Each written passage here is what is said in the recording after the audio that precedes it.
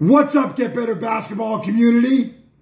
I'm Coach DeMarco, and this is Focused. In today's episode, I'm going to share with you a great game-winning action that the Washington Mystics used against the New York Liberty. I call it 13 split, and it's a baseline out of bounds action that they ran as a game-winning play. They use this with just 0.5 seconds on the clock to get a lob and a quick basket. You're going to love this action. It's really, really simple.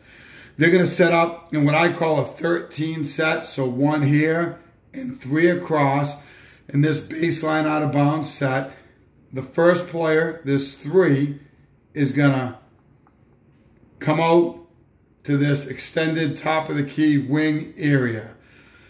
Four player, kind of looks like maybe four is kind of setting a screen for five, who's then going to set a screen for the one, or they're kind of brushing off each other. But four is going to split to this side of the floor. So there's your 13 split action. So we're going to end up with our four player over here. We're going to end up with our three player up here.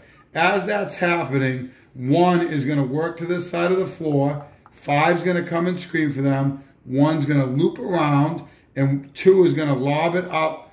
And they're going to catch it in the air and quickly shoot it. Now, the other thing I want to mention here is off this screen, if teams cheat and maybe you have more like a second or two seconds, you can get quick slip to the basket and you could hit this player as well. They don't have that time. It's going to have to be in the air, quick catch, shot in this particular instance because there's only 0.5 seconds on the clock. You're going to love this action. Everyone needs a set like this late in the game when you need a basket with very limited time. Let's check it out. All right, so here are the Mystics, and I wasn't kidding when I told you 0.5 seconds on the clock. They're going to have to get a basket, tie basketball game against the New York Liberty.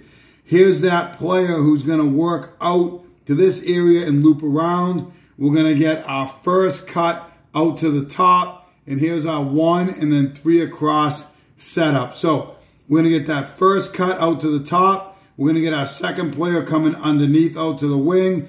There's our split action. And now we're going to open up a ton of space inside. We're going to get a screen here. Now, if two players commit, it's a quick slip and it could be a lob to this player. Not going to get that. This player is going to do a nice job staying just high enough so we get a lob over the top and they're going to knock down the shot. Let's take a look at this one more time at full speed. We get the screen, the lob, and the basket.